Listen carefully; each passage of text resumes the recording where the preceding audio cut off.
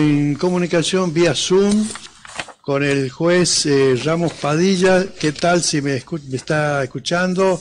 Muy buenas tardes, le saluda Edgar Castillo acá de la columna, la columna Nova de Salta. Estoy junto con Viviana Bachera. ¿Cómo le va? ¿Cómo le va? Un gusto estar con ustedes. Muy bien, un placer poder comunicarme con usted. Bueno, hay dos temas que quisiera eh, consultarle a usted como jurista, no solamente juez, sino que es un eminente jurista, una persona autorizada para dar una opinión sobre la decisión esta de la Corte de suspender o de esta intromisión de la Corte de Justicia de la Nación en las provincias autónomas como San Juan, eh, Tucumán y también se, hay un trascendido que también estarían, estarían preparando la suspensión de las elecciones en Formosa. Bueno, este, mi, posición es clara, es pública. Hace ya años que vengo diciendo que el Poder Judicial está cooptado, y yo lo digo sin eufemismo, ¿no? por una mafia que tiene un componente mediático y el poder económico concentrado, está avanzando contra la, contra la democracia, desde, desde cuando, desde, que en plena pandemia se metió el Poder Judicial a decidir políticas de salud de una demanda de la Ciudad de Buenos Aires, pasando por Vicentín, pasando por el servicio público de internet, eh, la toma de la toma, el asalto al Consejo de la Magistratura, y ahora ya se han metido con el Consejo de la Magistratura, donde legislamos, y ahora los jueces estamos sometidos a la jurisdicción de un, de un Consejo de la Magistratura que está regido por una ley que no existe, ¿no? que está derogada por el Congreso. Este, el Poder Judicial está pasando al peor momento de su historia. Antes, las malas cortes este, toleraban los golpes de Estado, como ocurrió en el 30, en el 76, etcétera, y nos han llevado a proscripciones. Bueno, lo estamos viendo de nuevo, ¿no? Antes este, recibíamos órdenes ilegales se recibían órdenes ilegales sobre, tres señores con uniforme de gorra. Este, lo mismo está pasando ahora, que estamos recibiendo órdenes ilegales y para cómo las, cumplimos. ¿no? Este, y ahí es el dilema en el, que nos han convocado, en el, que nos están perjudicando todos los argentinos. Sobre todo al ponerse a avanzar sobre el derecho más sagrado que tiene una democracia, que es la expresión de la voluntad popular mediante el voto. Eh, el dilema es o cumplimos la Constitución, que el artículo 21 nos manda a alzarnos en defensa de la parte de la Constitución, y el artículo 36 que habla de la supremacía de la Constitución, no de los fallos prevalicantes de los jueces de la Corte, de estos jueces de la Corte que semana a semana estamos viendo los delitos que han cometido, los abusos, este, el manejo de la obra social, ha declarado el, secretario administrativo de la Corte, eh, dando cuenta de bolsos que se remitían al, juez Rosati, eh, que se, se fallos por contratos, una serie de irregularidades, presiones, persecuciones. Y la verdad es que el Poder Judicial ha enviado una declaración que, está causando un gravísimo daño a nuestra democracia. Tenemos una situación institucional eh, muy débil a partir de eso que ha ocasionado eh, una pretensión, como dice la carta de Cristina Fernández de Kirchner, de, de inmiscuirse también en las elecciones están hablando que van a y ahora viene Formosa, con, mucho criterio, la doctora Cristina Fernández de Kirchner este, dice que no quiere ser mascota de Mañeto y que por eso se corre para evitar que a último momento así como pasó, eh, en, Brasil los dejen sin candidato, ¿no? Nos están llevando a o cumplimos la constitución o cumplimos órdenes ilegales. Doctor, eh, sí, le preguntaba eh, ¿cómo, cómo vio esta reacción distinta en, la reacción de San Juan de llevar a cabo las elecciones eh, sin la elección de gobernador, vicegobernador. Y en Tucumán el gobierno resolvió suspender, acatarla el fallo de, de esta cautelar de la Corte de Justicia de la Nación. No, creo que los, fallos ilegales no, no, deberían acatarse, ¿no? En todos estos casos que yo nombré, este, hemos ido dejando que, la Corte, esta Corte, con estos cuatro jueces, este, dos de ellos que pretendieron ingresar por decreto, eh, avance sobre facultades que son propias, exclusivas e incluyentes de otros poderes. Claro. Ahora se mete con, lo más, este, una de las bases del sistema democrático, que es la expresión del pueblo en las urnas.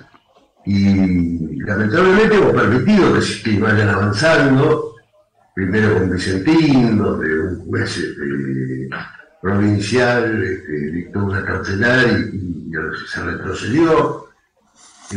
lamentablemente nuestra diligencia, eh, y algunos de los, eh, de los funcionarios y, personas que nos están gobernando han permitido que esto suceda.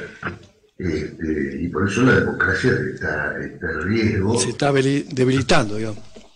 Eh, doctor, yo decía, decía a través de las redes sociales, decía, ¿por qué razón el presidente de la Nación, con la facultad que le otorga la Constitución, no decreta la, intervención al Poder Judicial. ¿Qué espera para hacerlo?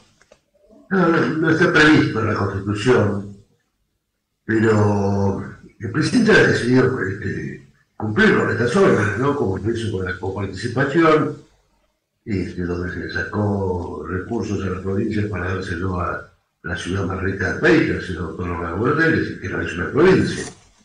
Eh, lamentablemente hemos dejado que, avancen y no hubo una decisión política como, como pasó con el cuando quisieron este, terminar con las leyes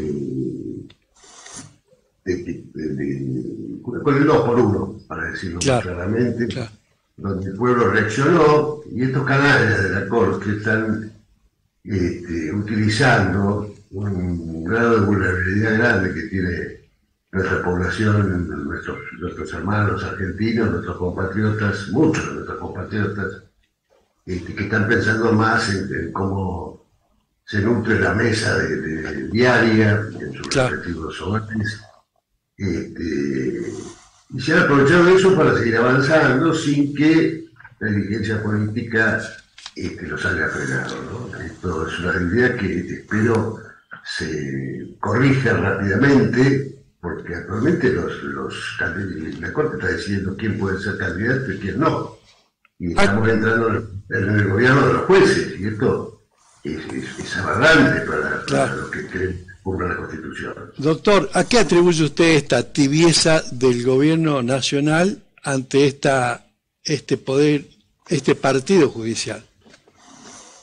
Ojalá supiera, porque el, presidente Alberto Fernández tenía, yo, mismo se lo planteé, tenía la posibilidad de, frente a esto, decretar el indulto de Cristina Fernández de Kirchner y terminar con estas discusiones. Este, el indulto no es un perdón, el indulto está hecho precisamente cuando hay excesos en el Poder Judicial que pueden afectar la paz de la nación, el indulto este, así invitó Irigoyen a un anarquista, que siempre lo dio el, apellido.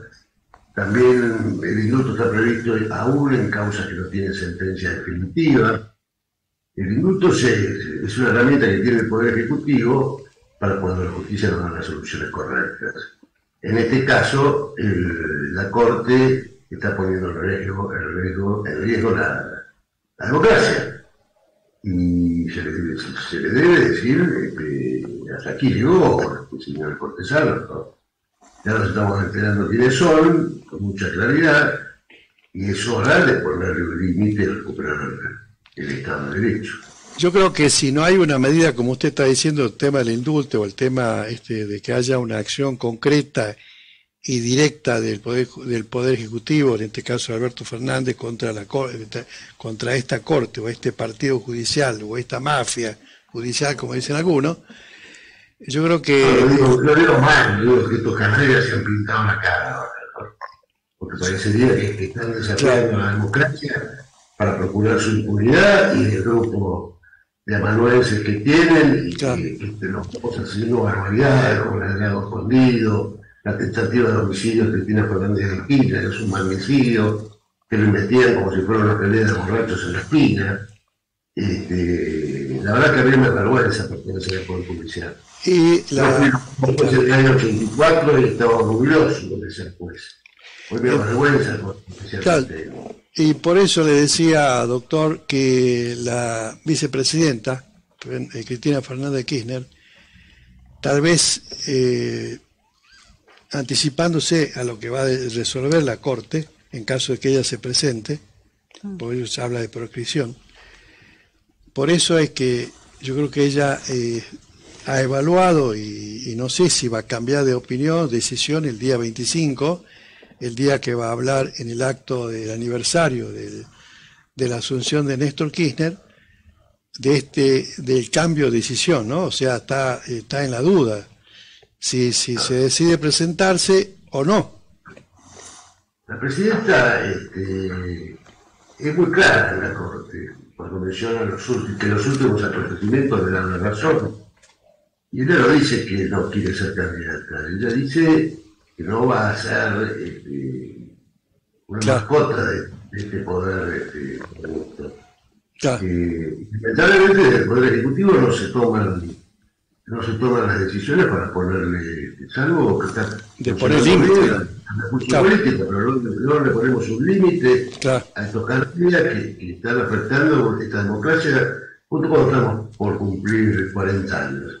Se ha quedado un pacto democrático, se está generando violencia y el presidente Alberto Fernández eh, doctor. nos impresionó con un discurso inaugural de su mandato hablando de los sótanos de la democracia, no un solo paso.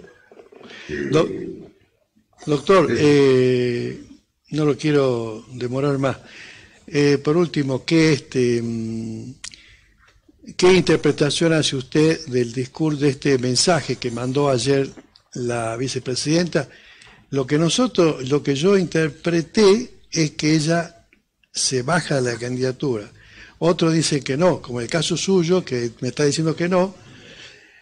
¿Esto me da cierta esperanza que el 25 va a anunciar su candidatura o me equivoco?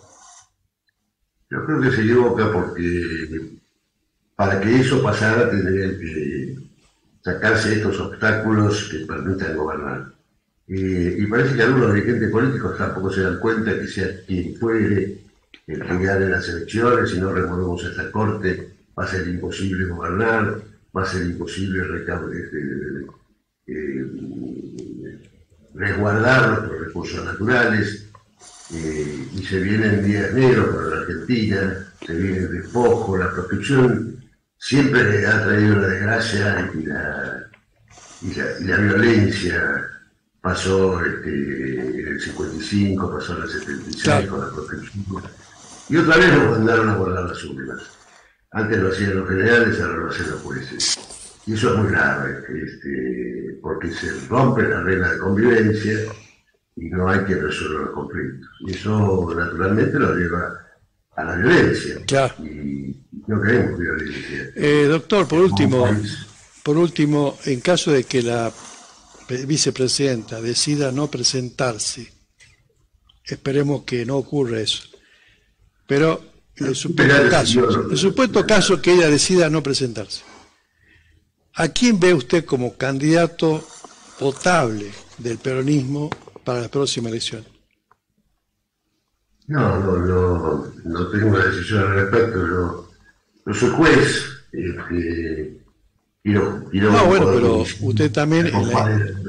pero también... la única, la única que tenemos en, en la Argentina en este momento es Cristina Fernández de Kirchner que realmente está en condiciones de, enfrentar los desafíos que se vienen el año que viene, que es un año bisagra para el destino de los argentinos, porque se van a resolver cuestiones vinculadas a la energía, se acaba de terminar el gasoducto, cuestiones que tienen que ver con los minerales, el litio, una situación geopolítica complicada, este, con, los convenios que hay entre China, Rusia y, cuál es la posición que va a tener Argentina. Eh, por lo menos no veo este, un, plan de gobierno claro, ni candidatos con la suficiente espalda como para espalda y, y que tengan esa condición de, de estadista que tiene que tiene Fernández de Muy bien. Eh... Esto es lo que han buscado y lamentablemente la dirigencia política no ha estado a la altura, por eso me cuesta, inclinarme por alguno. Muy bien, eh, doctor eh, Ramos Padilla. Ser, tan pesimista. Muchísimas gracias por este tiempo y vamos a estar atentos a, su, a sus declaraciones y por supuesto usted es un referente eh, dentro del Poder Judicial. Muchas gracias. No, muchísimas gracias a ustedes. Muchas gracias. Gracias por la... Bien. Bueno, seguimos acá, Viviana, en la columna NOA. Estamos, eh, señor director, vamos a pasar la columna de Daniela Planes. Adelante.